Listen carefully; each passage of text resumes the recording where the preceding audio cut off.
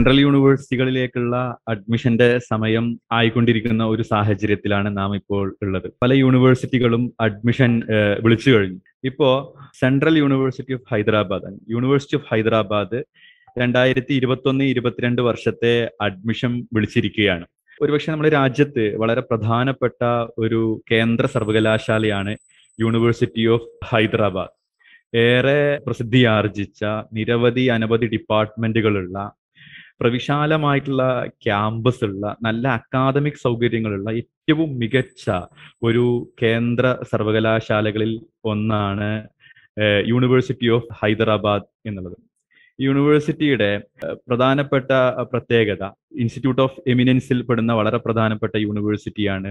അതുപോലെ തന്നെ നാക്കിൽ ഫോർ സ്കോറിൽ ത്രീ പോയിന്റ് സെവൻ ടു ലഭിച്ച് എ ഗ്രേഡോട് കൂടിയിട്ടുള്ള നാക് അക്രഡിഷൻ ഉള്ള യൂണിവേഴ്സിറ്റിയാണ് അതുപോലെ നമ്മുടെ രാജ്യത്തെ യൂണിവേഴ്സിറ്റികളെയും ഹയർ എഡ്യൂക്കേഷൻ ഇൻസ്റ്റിറ്റ്യൂഷൻസിനെയും ഒക്കെ റാങ്ക് ചെയ്യുന്ന N I R F ranking national institute of ranking framework ആ അതിലെ യൂണിവേഴ്സിറ്റി റാങ്കിങ്ങിൽ രണ്ടായിരത്തി ഇരുപതിൽ പതിനഞ്ചാം സ്ഥാനത്തുള്ള ഒരു യൂണിവേഴ്സിറ്റി ആയിട്ടാണ് യൂണിവേഴ്സിറ്റി ഓഫ് ഹൈദരാബാദ് ഉള്ളത്.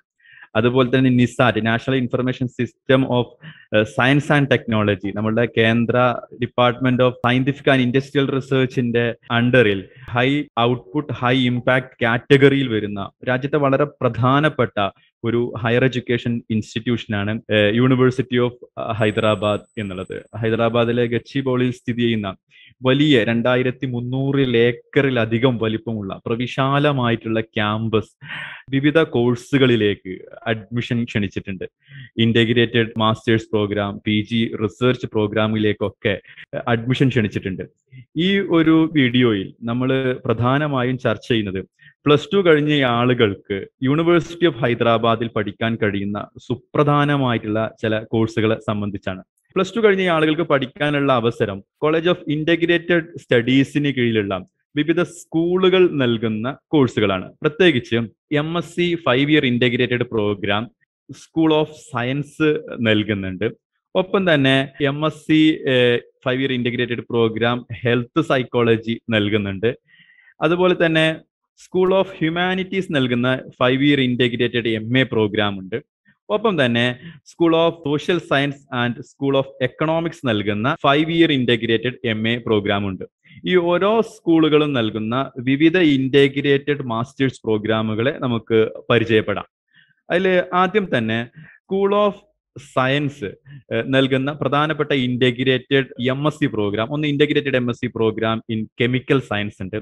Integrated M S C program mathematical science integrated M S C program physics program M S C program systems biology geology. അപ്പൊ ഇത്രയും പ്രോഗ്രാമുകൾ എം എസ് സി തലത്തിൽ ഹൈദരാബാദ് യൂണിവേഴ്സിറ്റി നൽകുന്നുണ്ട്. Chemical science mathematical science physics system biology applied geology ഇത്രയും മേഖലയിൽ integrated M S C പ്രോഗ്രാമുകൾ university of Hyderabad plus two കഴിഞ്ഞ ആളുകൾക്ക് പ്രത്യേകിച്ച് സയൻസ് കഴിഞ്ഞ ആളുകൾക്ക് നൽകുന്നുണ്ട്. എന്താണ് ഈ കോഴ്സിനുള്ള എലിജിബിലിറ്റി? നിങ്ങൾ ഒരു പ്ലസ് ടു ആണ് വേണ്ടത്. ഏതെങ്കിലും ഒരു മൂന്ന് subject physics chemistry maths biology ഈ നാല് സബ്ജക്റ്റിൽ ഏതെങ്കിലും ഒരു മൂന്ന് സബ്ജക്ട് പഠിച്ച ഒരു പ്ലസ് ടു ആണ് വേണ്ടത്. പ്ലസ് ടു ലെവലിൽ മിനിമം സിക്സ്റ്റി പെർസെന്റേജ് മാർക്ക് നിങ്ങൾക്ക് ലഭ്യമാണ് എങ്കിൽ നിങ്ങൾക്ക് തീർച്ചയായിട്ടും യൂണിവേഴ്സിറ്റി ഓഫ് ഹൈദരാബാദിലെ ഇന്റഗ്രേറ്റഡ് എം എസ് സി പ്രോഗ്രാമുകൾക്ക് അപേക്ഷിക്കാം. ഒരു എൻട്രൻസ് എക്സാം വഴിയാണ് പ്രവേശനം.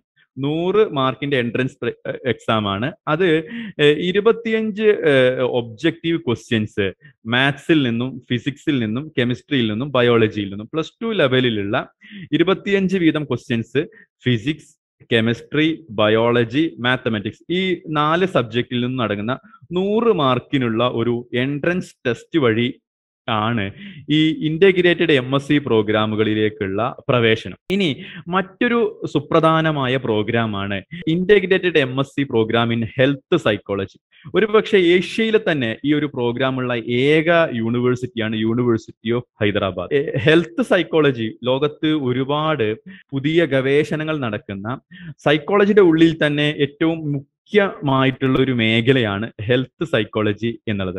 ഇത് ഈ കോഴ്സിലേക്കുള്ള എലിജിബിലിറ്റി പ്ലസ് ടു തലത്തിൽ നിങ്ങൾ ആർട്സിലോ സയൻസിലോ പ്ലസ് ടു കഴിഞ്ഞ ആളുകൾക്ക് അറുപത് ശതമാനം മാർക്കോട് കൂടി ഹ്യൂമാനിറ്റീസോ അതല്ലെങ്കിൽ സയൻസ് ഗ്രൂപ്പോ ഒക്കെ പഠിച്ച ആളുകൾക്ക് അപേക്ഷിക്കാവുന്ന ഒരു പരീക്ഷയാണ്. ഇതിനും എൻട്രൻസ് അടിസ്ഥാനത്തിലാണ് integrated M S C health സൈക്കോളജിയുടെയും പ്രവേശനം. എന്താണ് ഈ എൻട്രൻസ് എക്സാമിൽ ചോദിക്കുക? നൂറ് മാർക്കിന്റെ ഒരു എക്സാം ആണ്. അതിൽ തന്നെ ഒരു നിങ്ങളുടെ സൈക്കോളജിയിലുള്ള അഭിരുചിയെ നിർണയിക്കുന്നതും പ്ലസ് ടു തലത്തിലുള്ള ഒരു ഇംഗ്ലീഷ് ലാംഗ്വേജ് പ്രൊഫിഷ്യൻസിയുമാണ് പ്രധാനമായിട്ടും ചോദിക്കുക integrated M S C health psychology പ്രോഗ്രാമിൽ ചോദിക്കുക അപ്പോൾ ഒരുപക്ഷെ നമ്മുടെ രാജ്യത്തെ ഏറ്റവും പ്രധാനപ്പെട്ട ഇന്റഗ്രേറ്റഡ് സൈക്കോളജിയിലുള്ള ഇന്റഗ്രേറ്റഡ് എം എസ് സി പ്രോഗ്രാമുകളിൽ ഒന്നുകൂടിയാണ് യൂണിവേഴ്സിറ്റി ഓഫ് ഹൈദരാബാദ് നൽകുന്ന integrated M S C health psychology എന്നുള്ള പ്രോഗ്രാം ഇനി integrated M A program school of humanities ഈ ഹ്യൂമാനിറ്റീസ് സ്കൂൾ നൽകുന്ന വിവിധ പ്രോഗ്രാമുകളുണ്ട് ഇതിന് അപേക്ഷിക്കാനുള്ള പ്രധാനപ്പെട്ട എലിജിബിലിറ്റി അറുപത് ശതമാനം മാർക്കോട് കൂടി പ്ലസ് ടു പാസ്സാവുക എന്നുള്ളതാണ്. പ്ലസ് ടു ഏത് ഗ്രൂപ്പ് പഠിച്ച ആളുകൾക്കും ഇന്റഗ്രേറ്റഡ് എം എ പ്രോഗ്രാം ഹ്യൂമാനിറ്റീസിന്റെ കീഴിലുള്ള കോഴ്സുകളിലേക്ക് പോവാം. എൻട്രൻസ് എക്സാം വഴിയാണ് പ്രവേശനം. നൂറ് മാർക്കിനുള്ള ഒരു എൻട്രൻസ് ടെസ്റ്റ് ആയിരിക്കും ഉണ്ടാകുക ഈ ടെസ്റ്റുകളെ തന്നെ നമുക്ക് മൂന്ന് ആയി തിരഞ്ഞെടുക്കുന്നുണ്ട് part A part B part C എന്നുള്ളത്. അപ്പൊ പാർട്ട് എയിൽ നിങ്ങൾ സെലക്ട് ചെയ്തിട്ടുള്ള സബ്ജക്റ്റിനെ മുൻനിർത്തിയിട്ടുള്ള നാൽപ്പത് ക്വസ്റ്റ്യൻസ് ആയിരിക്കും ഉണ്ടാവുക. പാർട്ട് ബിയിൽ നിങ്ങളുടെ ഇംഗ്ലീഷ് ലാംഗ്വേജ് പ്രൊഫിഷ്യൻസി ചെക്ക് ചെയ്യുന്ന മുപ്പത്തി അഞ്ച് ക്വസ്റ്റ്യൻസ് ഉണ്ടാവും. അതുപോലെ തന്നെ പാർട്ട് സിയിൽ ഇരുപത്തിയഞ്ച് questions current affairs general knowledge നിങ്ങളുടെ പൊതുവിജ്ഞാനം നിങ്ങളുടെ കറന്റ് അഫേഴ്സിനെ മുൻനിർത്തിയിട്ടുള്ള ക്വസ്റ്റ്യൻസ് ആയിരിക്കും ഈ സ്കൂൾ ഓഫ് ഹ്യൂമാനിറ്റീസ് നൽകുന്ന കോഴ്സുകളിലേക്ക് ഉണ്ടാവുക. ഇനി നമുക്ക് ഏതൊക്കെ തരത്തിലുള്ള കോഴ്സുകളാണ് സ്കൂൾ ഓഫ് ഹ്യൂമാനിറ്റീസ് നൽകുന്നത്? Integrated M A program in Hindi integrated M A program in Telugu integrated M A program in Urdu അതുപോലെ തന്നെ integrated M A program in language science ഈ ഒരു പ്രോഗ്രാമുകളാണ് ഉള്ളത്. ഞാൻ നേരത്തെ പറഞ്ഞതുപോലെ തന്നെ അതിന് അറുപത് ശതമാനം മാർക്കോട് കൂടി ഏതെങ്കിലും പ്ലസ് ടു തലത്തിൽ ഫിസിക്സോ സയൻസോ കൊമേഴ്സോ ഹ്യൂമാനിറ്റീസോ ഏത് പാസ്സായ ആളുകൾക്കും ഇത് ഇതിന് എലിജിബിൾ ആണ് അറുപത് ശതമാനം മാർക്ക് പ്ലസ് ടുവിൽ വാങ്ങണം. നൂറ് മാർക്കിന്റെ ഒരു പരീക്ഷ മൂന്നായി തിരിച്ചിരിക്കുകയാണ്. പാർട്ടി എയിൽ നാൽപ്പത് ശതമാനം നിങ്ങൾ ചൂസ് ചെയ്തിട്ടുള്ള സബ്ജക്റ്റിനെ മുൻനിർത്തിയിട്ടാണ്. മുപ്പത്തഞ്ച് ക്വസ്റ്റ്യൻസ് നിങ്ങളുടെ ഇംഗ്ലീഷ് ലാംഗ്വേജ് പ്രൊഫഷൻസിയെ മുൻനിർത്തിയിട്ടാണ്. ബാക്കി ഇരുപത്തിയഞ്ച് questions current affairs general knowledge പൊതുവിജ്ഞാനം general നോളജിനെ മുൻനിർത്തിയിട്ടുള്ള ക്വസ്റ്റ്യൻസ് ആയിരിക്കും ഉണ്ടാവുക.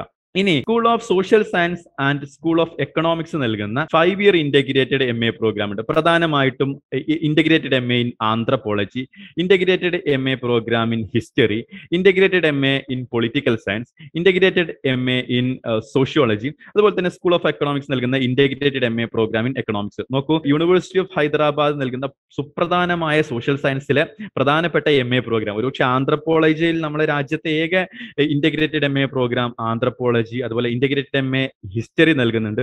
പൊളിറ്റിക്കൽ സയൻസിൽ അഞ്ചു വർഷത്തെ ഇന്റഗ്രേറ്റഡ് എം എ സോഷ്യോളജി അതുപോലെ തന്നെ എക്കണോമിക്സിൽ എന്താണ് ഈ കോഴ്സ് പഠിക്കുന്നതിന് വേണ്ടി എലിജിബിലിറ്റി മറ്റും എന്നുള്ളതൊക്കെ നോക്കാം. എലിജിബിലിറ്റി നിങ്ങൾ പ്ലസ് ടു തലത്തിൽ അറുപത് ശതമാനം മാർക്കോട് കൂടി പാസ്സാവുക എന്നുള്ളതാണ്. ഹ്യൂമാനിറ്റീസ് ആൻഡ് സോഷ്യൽ സയൻസോ കൊമേഴ്സോ സയൻസ് ഒക്കെ പഠിച്ച ആളുകൾക്ക് പ്ലസ് ടു തലത്തിൽ പഠിച്ച ആളുകൾക്ക് ഈ എക്സാമിന് എഴുതാം. ഇതിന് നാല് ഭാഗങ്ങളായിട്ടുള്ള ഒരു എൻട്രൻസ് ടെസ്റ്റാണ് നൂറ് മാർക്കിന്റെ ഒരു എൻട്രൻസ് പരീക്ഷയാണ്. നാല് ഭാഗങ്ങളായിട്ടാണ് ഈ പരീക്ഷയെ തരംതിരിച്ചിരിക്കുന്നത്. ഒന്ന് പാർട്ട് എയിൽ social studies and general awareness ആണ് ചോദിക്കുക. പാർട്ട് ബിയിൽ ലാംഗ്വേജ് ആൻഡ് കോംപ്രിഹെൻഷൻ പ്രത്യേകിച്ച് ഇംഗ്ലീഷ് ലാംഗ്വേജും ലാംഗ്വേജ് കോംപ്രിഹെൻഷനും ആയിരിക്കും. പാർട്ട് സിയിൽ നിങ്ങൾ റീസണിംഗ് എബിലിറ്റി റീസൺ ചെയ്യാനുള്ള റീസണിംഗ് റിലേറ്റഡ് ക്വസ്റ്റ്യൻസ് ആയിരിക്കും. പാർട്ട് ഡിയിൽ ക്വാണ്ടിറ്റേറ്റീവ് കുറച്ച് ന്യൂമറിക്കൽ ആയിട്ടുള്ള ക്വാണ്ടിറ്റേറ്റീവ് എബിലിറ്റി ടെസ്റ്റ് ഇങ്ങനെ നാല് മേഖലയിൽ നിന്ന് നൂറ് ക്വസ്റ്റ്യൻസ് ആയിട്ടായിരിക്കും ഉണ്ടാവുക. പാർട്ട് എയിൽ സോഷ്യൽ സ്റ്റഡീസും ജനറൽ അവയർനെസ്സുമായ ക്വസ്റ്റ്യൻസ് ഉണ്ടാവും. പാർട്ട് ബിയിൽ ലാംഗ്വേജ് കോംപ്രിഹെൻഷൻസ് ഉണ്ടാവും. പാർട്ട് സിയിൽ റീസണിംഗ് എബിലിറ്റിയുമായി ബന്ധപ്പെട്ട ക്വസ്റ്റ്യൻസ് പാർട്ട് ഡിയിൽ ക്വാണ്ടിറ്റേറ്റീവ് ആപ്റ്റിറ്റ്യൂഡുമായി ബന്ധപ്പെട്ട ക്വസ്റ്റ്യൻസ് ഇങ്ങനത്തെ ക്വസ്റ്റ്യൻസ് ആയിരിക്കും ഇന്റഗ്രേറ്റഡ് എം എ പ്രോഗ്രാമുകൾ school of social science school of economics നൽകുന്നത്. പ്രത്യേകിച്ച് പൊളിറ്റിക്കൽ സയൻസ് എക്കണോമിക്സ് ആന്ത്രപ്പോളജി പോലത്തെ ഇന്റഗ്രേറ്റഡ് എം എ പ്രോഗ്രാമുകളിലെ എൻട്രൻസ് ക്വസ്റ്റ്യൻസ് ഇങ്ങനെയായിരിക്കും. ഉണ്ടാവുക. ഇനി ഇതിന് അപേക്ഷ വിളിച്ചു കഴിഞ്ഞിട്ടുണ്ട്. നിങ്ങൾ സ്ക്രീനിൽ കാണുന്ന വെബ് അഡ്രസ്സിൽ നിങ്ങൾ അപേക്ഷിക്കാവുന്നതാണ്. ഇത് അപേക്ഷിക്കാനുള്ള തീയതി ജൂൺ ഇരുപത്തിയൊന്നാം തീയതി മുതൽ ജൂലൈ ഇരുപതാം തീയതി രണ്ടായിരത്തി ഇരുപത്തൊന്ന് ജൂൺ ഇരുപത്തൊന്ന് മുതൽ ജൂലൈ ഇരുപത് വരെയുള്ള ദിവസങ്ങളിലാണ് അപേക്ഷിക്കേണ്ടത്. എൻട്രൻസ് പരീക്ഷയെ സംബന്ധിച്ചും മറ്റുമൊക്കെയുള്ള ഡീറ്റെയിൽസ് യൂണിവേഴ്സിറ്റിയുടെ വെബ്സൈറ്റിൽ വരും ദിവസങ്ങളിൽ വരാനിരിക്കുന്നതേ ഉള്ളൂ. എൻട്രൻസ് എന്ന് നടക്കും എന്നതിനെ സംബന്ധിച്ച് കൃത്യമായ ഒരു ഇൻഫർമേഷൻ നൽകുന്നില്ല. ഒരുപക്ഷെ കോവിഡിന്റെ സാഹചര്യം പരിഗണിച്ച് അവർ എൻട്രൻസ് ഡേറ്റുകൾ പ്രഖ്യാപിക്കും. അപേക്ഷിക്കുന്ന സമയത്ത് നിങ്ങളുടെ സ്കാനഡ് ഫോട്ടോഗ്രാഫ് സ്കാനഡ് സിഗ്നേച്ചർ ഒക്കെ അപ്ലോഡ് ചെയ്യുന്നുണ്ട്. അതിന് നിർദ്ദിഷ്ടമായിട്ടുള്ള ഫോർമാറ്റ് നമ്മളെ വെബ്സൈറ്റിൽ നൽകിയിട്ടുണ്ട്. ഒപ്പം തന്നെ റിസർവേഷൻ കാറ്റഗറിയിലുള്ള ആളുകൾക്ക് O B C E W S S C S T പോലുള്ള ആളുകൾക്ക് റിസർവേഷൻ കാറ്റഗറിയിൽ അപേക്ഷിക്കുന്ന ആളുകൾക്ക് അതിന്റെ സർട്ടിഫിക്കറ്റ് അതത് അതോറിറ്റികളിൽ നിന്ന് സബ്മിറ്റ് ചെയ്യേണ്ടതുണ്ട്. ഒപ്പം ഇതിന്റെ എൻട്രൻസ് സെന്ററുകളിൽ ശ്രദ്ധിക്കേണ്ടത് കേരളത്തിൽ കോഴിക്കോടും കൊച്ചിയും എൻട്രൻസ് സെന്റർ ഉണ്ട്. അപ്പോൾ പല സെൻട്രൽ യൂണിവേഴ്സിറ്റികളുടെയും പരീക്ഷകൾ അതത് യൂണിവേഴ്സിറ്റികളിൽ പോയി എഴുതേണ്ട ഒരു സാഹചര്യം ഉണ്ടായിരിക്കെ. സെൻട്രൽ യൂണിവേഴ്സിറ്റി ഓഫ് ഹൈദരാബാദിന്റെ എൻട്രൻസ് പരീക്ഷാ സെന്ററുകൾ കേരളത്തിൽ കോഴിക്കോടും കൊച്ചിയും ഉണ്ടാവും. അപ്പൊ നമുക്ക് കേരളത്തിൽ ഇരുന്നു കൊണ്ട് തന്നെ കേരളത്തിൽ തന്നെ എൻട്രൻസ് പരീക്ഷ എഴുതിയിട്ട് നമുക്ക് സെൻട്രൽ യൂണിവേഴ്സിറ്റി ഓഫ് ഹൈദരാബാദിൽ അഡ്മിഷൻ നേടാൻ വേണ്ടി പറ്റും എന്നുള്ളതാണ്. ഇനി ഇതിന്റെ ഓൺലൈൻ അഡ്മിഷന്റെ ഫീസ് ജനറൽ വിഭാഗങ്ങൾക്ക് അറുന്നൂറ് രൂപയും ഇ ഡബ്ല്യു എസ് വിഭാഗങ്ങൾക്ക് മുന്നോക്ക വിഭാഗക്കാരിൽ സാമ്പത്തികമായി പിന്നോക്കം നിൽക്കുന്ന ആളുകൾക്ക് അഞ്ഞൂറ്റി അൻപത് രൂപയും ഒ ബി സി വിഭാഗങ്ങൾക്ക് നാനൂറ് രൂപയും S C S T person with disability വരുന്ന ആളുകൾക്ക് ഇരുന്നൂറ്റി എഴുപത്തി അഞ്ച് രൂപയുമാണ് ഇതിന്റെ അഡ്മിഷൻ ഫീസ് അഥവാ ഇതിന് അപ്ലൈ ചെയ്യാനുള്ള അപേക്ഷാ ഫീസ് അടക്കേണ്ടത്. ഒപ്പം തന്നെ ഇതിന്റെ അഡ്മിഷൻ പ്രൊസീജിയറിനെ ഞാൻ ജസ്റ്റ് ഒന്ന് പരിചയപ്പെടുത്താം. ഇത് അപ്ലൈ ചെയ്യുന്ന സമയത്ത് നിങ്ങൾ യൂണിവേഴ്സിറ്റിയിലെ നിർദ്ദിഷ്ട വെബ്സൈറ്റിൽ പോയി കഴിഞ്ഞാൽ നിങ്ങൾക്ക് രജിസ്ട്രേഷനിലേക്ക് പോകും അപ്ലിക്കേഷനിലേക്ക് പോകും. അപ്ലിക്കേഷൻ തുടക്കത്തിൽ നിങ്ങളുടെ ബേസിക് ആയിട്ടുള്ള ക്രിഡൻഷ്യൽസ് നൽകുക എന്നുള്ളതാണ് ഒന്നാമത് വരുന്നത്. ബേസിക് ആയിട്ടുള്ള ക്രിഡൻഷ്യൽസ് ഒപ്പം നിങ്ങളുടെ photo signature caste certificate upload ചെയ്യേണ്ട ഫസ്റ്റ് വിൻഡോ ഇതാണ് ആദ്യം നമ്മൾ നൽകേണ്ട ഒരു കാര്യം. ഇനി രണ്ടാമത്തെ ഇതിൽ അത് സബ്മിറ്റ് ചെയ്ത് കഴിഞ്ഞാൽ അടുത്തത് വരുന്നത് നിങ്ങൾക്ക് ക്വാളിഫയിങ് ആയിട്ടുള്ള എക്സാമുകളുടെ മാർക്കിനെ സബ്മിറ്റ് ചെയ്യേണ്ട ഒരു തലം രണ്ടാമത്തത് വരുന്നു. അത് നിങ്ങൾ സബ്മിറ്റ് ചെയ്ത് കഴിഞ്ഞാൽ മൂന്നാമത്തെ കാര്യത്തിൽ നിങ്ങളുടെ ഫാമിലി ഡീറ്റെയിൽസിനെ കുറിച്ചിട്ടുള്ള ഒരു ചോദ്യമാണ് ഉണ്ടാവുക. നിങ്ങളുടെ പാരൻസ് ഗാർഡിയൻസ് ഒപ്പം തന്നെ നിങ്ങളുടെ നാറ്റീവ് പ്ലേസ് ഇങ്ങനെ അടക്കമുള്ള നിങ്ങളുടെ ബേസിക് ആയിട്ടുള്ള ഫാമിലി പ്രൊഫൈലിംഗ് ആണ് അടുത്ത ഒരു സ്ക്രീനിൽ ഉണ്ടാവുക. അത് സബ്മിറ്റ് ചെയ്തു കഴിഞ്ഞാൽ അടുത്തത് നിങ്ങളുടെ അക്കാദമിക് റെക്കോർഡ്സിന്റെ ക്രെഡൻഷ്യൽസ് നൽകുക എന്നുള്ളതാണ്. നിങ്ങളുടെ പത്താം ക്ലാസ് പ്ലസ് ടു മറ്റു പരീക്ഷകളുടെയൊക്കെ മാർക്ക് അതുപോലെ തന്നെ അത് ഇയർ ഓഫ് പാസിംഗ് അടക്കമുള്ള അതിന്റെ ബേസിക് ഐഡിയാസ് നൽകുക എന്നുള്ളതാണ് സ്ക്രീൻ ഫോറിൽ വരുന്നത്. ഇനി അടുത്ത അത് സബ്മിറ്റ് ചെയ്ത് കഴിഞ്ഞു കഴിഞ്ഞാൽ പിന്നീട് നിങ്ങൾക്ക് നിങ്ങളുമായി ബന്ധപ്പെട്ടിട്ടുള്ള പ്രധാനപ്പെട്ട ക്വസ്റ്റ്യൻസ് നിങ്ങളുടെ ബ്ലഡ് ഗ്രൂപ്പ് മാരിറ്റൽ സ്റ്റാറ്റസ് അടക്കമുള്ള നിങ്ങളുമായി ബന്ധപ്പെട്ടിട്ടുള്ള പ്രധാനപ്പെട്ട ഒരു ക്രിഡൻഷ്യൽസിനെ മിസെല്ലേനിയസ് ആയിട്ടുള്ള ക്രിഡൻഷ്യൽസിനെ നൽകുക എന്നുള്ളതാണ് സ്ക്രീൻ ഫൈവിൽ വരുന്നത്. അത് സബ്മിറ്റ് ചെയ്ത് കഴിഞ്ഞാൽ നിങ്ങൾക്ക് നിങ്ങളുടെ കമ്മ്യൂണിക്കേഷൻ അഡ്രസ്സ് നൽകുക എന്നുള്ളത് നിങ്ങളുടെ പെർമനന്റ് അഡ്രസ് അതുപോലെ തന്നെ പ്രസന്റ് അഡ്രസ് പോലത്തെ അഡ്രസ്സ് നൽകുകയാണ് സ്ക്രീൻ സിക്സിൽ നമ്മൾ ചെയ്യേണ്ടത്. ഇനി അതും സബ്മിറ്റ് ചെയ്ത് കഴിഞ്ഞു കഴിഞ്ഞാൽ അടുത്തത് വരുന്നത് നിങ്ങളുടെ പേയ്മെന്റ് ഗേറ്റ് വേയിലേക്കാണ് പേയ്മെന്റ് ഗേറ്റ് വേയുമായി ബന്ധപ്പെട്ട് നിങ്ങൾക്ക് ഓൺലൈൻ ആയിട്ട് പേ ചെയ്യാനുള്ള ഓപ്ഷൻസ് ആണ്. നിങ്ങളുടെ ക്രെഡിറ്റ് ഡെബിറ്റ് കാർഡുകളൊക്കെ വെച്ചിട്ട് നിങ്ങൾക്ക് ഓൺലൈൻ പേയ്മെന്റ് നിങ്ങൾക്ക് പൂർത്തിയാക്കാവുന്നതാണ്. ഈ ഓൺലൈൻ പേയ്മെന്റ് പൂർത്തിയാക്കി കഴിഞ്ഞു കഴിഞ്ഞാൽ നിങ്ങൾക്ക് അപ്ലിക്കേഷൻ ഫോം ഡൗൺലോഡ് ചെയ്യും. നിങ്ങളുടെ അപ്ലിക്കേഷൻ പ്രൊസീജിയർ കംപ്ലീറ്റ് ആവും.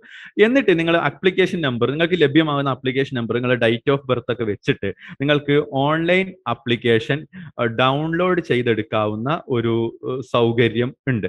അപ്പോൾ ഇതാണ് ഇതിന്റെ ഒരു അപ്ലിക്കേഷന്റെ പ്രൊസീജിയർ ഇരുപത്തിയൊന്നാം തീയതി ജൂൺ മുതൽ ഇരുപത് ജൂലൈ വരെ അപേക്ഷിക്കാൻ സമയമുണ്ട് എങ്കിലും ഇപ്പോൾ തന്നെ നേരത്തെ കണ്ട് തന്നെ നിങ്ങൾ അപേക്ഷിക്കുക. അപേക്ഷാ ഫീസിനെ സംബന്ധിച്ചൊക്കെ ഞാൻ പറഞ്ഞിട്ടുണ്ട്. അപ്പം മുൻകൂട്ടി കണ്ട് തന്നെ അപേക്ഷിക്കുക. ഇനി നോക്കൂ ഈ പ്ലസ് ടു കഴിഞ്ഞ ആളുകൾക്ക് നമ്മുടെ രാജ്യത്തെ വിഖ്യാതമായിട്ടുള്ള യൂണിവേഴ്സിറ്റിയായ യൂണിവേഴ്സിറ്റി ഓഫ് ഹൈദരാബാദിൽ integrated M S C M A പ്രോഗ്രാമുകളിലേക്കൊക്കെ പ്രവേശനം ലഭിക്കുന്നത് എൻട്രൻസ് പരീക്ഷയിലൂടെയാണ്. നിങ്ങൾ ശ്രദ്ധിക്കേണ്ട ഒരു കാര്യം അറുപത് ശതമാനം മാർക്കോട് കൂടി നിങ്ങൾ പ്ലസ് ടു പാസ്സായിട്ടുണ്ട് എങ്കിലും എൻട്രൻസിൽ നിങ്ങൾ അപ്പോൾ പ്ലസ് ടു തലത്തിൽ മാർക്ക് കുറഞ്ഞാൽ പോലും ഇപ്പോൾ തന്നെ മുൻ എൻട്രൻസിനെ മുൻനിർത്തി പഠിക്കുകയാണ് എങ്കിൽ നിങ്ങൾക്ക് മികച്ച മേഖലയിലേക്ക് എത്താൻ വേണ്ടി നമ്മുടെ രാജ്യത്തെ മികച്ച യൂണിവേഴ്സിറ്റിയായ യൂണിവേഴ്സിറ്റി ഓഫ് ഹൈദരാബാദിലേക്ക് എത്താൻ വേണ്ടി പറ്റും. അപ്പൊ അതുകൊണ്ട് എൻട്രൻസിനെ മുൻനിർത്തിയിട്ട് നന്നായി പഠിക്കാൻ ഇപ്പോൾ തന്നെ ശ്രമിക്കുക എന്നുള്ളതാണ്. നിങ്ങളൊക്കെ ഞാൻ സിലബസിനെ സംബന്ധിച്ച് എൻട്രൻസ് സിലബസിനെ സംബന്ധിച്ച് പറഞ്ഞ സമയത്ത് current affairs general English quantitative ability reasoning ability ഒക്കെ പോലെ നിങ്ങളുടെ പ്ലസ് ടു തലത്തിൽ പഠിച്ച സബ്ജക്റ്റുകളെക്കാൾ ഉപരി നിങ്ങളെ quantitative ability general knowledge current affairs പോലുള്ള ഒരു കോമ്പറ്റേറ്റീവ് എക്സാമിന് വേണ്ട ഒരു പ്രിപ്പറേഷൻ ആണ് നിങ്ങൾക്ക് വേണ്ടത്.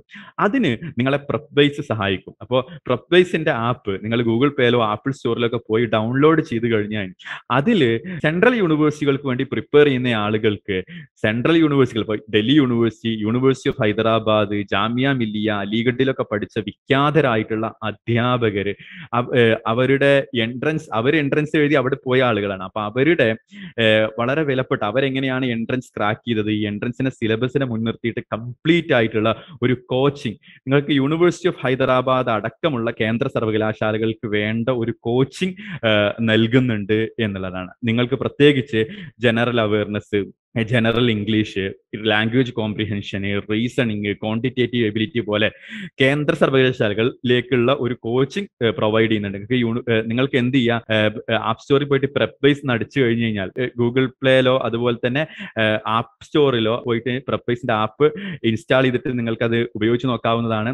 ഒപ്പം തന്നെ ഇതിൽ പ്രോഗ്രാമിൽ ജോയിൻ ചെയ്യണമെങ്കിൽ ഈ വീഡിയോക്ക് താഴെ വരുന്ന ക്രിഡൻഷ്യൽസിൽ നിങ്ങൾക്ക് പോയി കഴിഞ്ഞാൽ ഡിസ്ക്രിപ്ഷനിൽ പോയി കഴിഞ്ഞു കഴിഞ്ഞാൽ നിങ്ങൾക്ക് അതിൽ പ്രപ്പൈസിനെ കോൺടാക്ട് ചെയ്യാനുള്ള ഒരു ഓപ്ഷൻ ഉണ്ടായിരിക്കുന്നതാണ്. അപ്പൊ നിങ്ങൾ എല്ലാ ആളുകളും ഈ ലോക്ക്ഡൗൺ പീരീഡിലുള്ള ഇനി നമ്മൾ മുന്നിൽ വരുന്ന രണ്ടോ മൂന്നോ മാസം വളരെ ഫലപ്രദമായിട്ട് ഉപയോഗിച്ചുകൊണ്ട് central university university of Hyderabad അടക്കമുള്ള കേന്ദ്ര സർവകലാശാലകളിൽ അഡ്മിഷൻ ഉറപ്പിക്കുവാനും അങ്ങനെ അഡ്മിഷൻ ഉറപ്പിച്ചിട്ട് ആ യൂണിവേഴ്സിറ്റി അത്തരം വലിയ യൂണിവേഴ്സിറ്റികളിൽ നിങ്ങൾ ഇന്റഗ്രേറ്റഡ് കോഴ്സുകളൊക്കെ പാസ്സാവുന്നതിലൂടെ നിങ്ങൾക്ക് ഉണ്ടാകുന്നത് അക്കാദമിക മേഖലയിൽ നിങ്ങൾ ഏറ്റവും മികച്ച ഉയർന്ന നിലവാരത്തിലെത്തുകയും നിങ്ങൾക്ക് നമ്മുടെ രാജ്യത്ത് പഠിക്കാൻ പറ്റുന്ന ഏറ്റവും ബെസ്റ്റ് ആയിട്ടുള്ള ഇൻസ്റ്റിറ്റ്യൂഷന്റെ അന്തരീക്ഷത്തിൽ മികച്ച അക്കാദമിക്സിൽ പഠിക്കാനുള്ള ഒരു സൗകര്യം നിങ്ങൾക്ക് കൈവന്നു ചേരുകയാണ് ചെയ്യുന്നത്.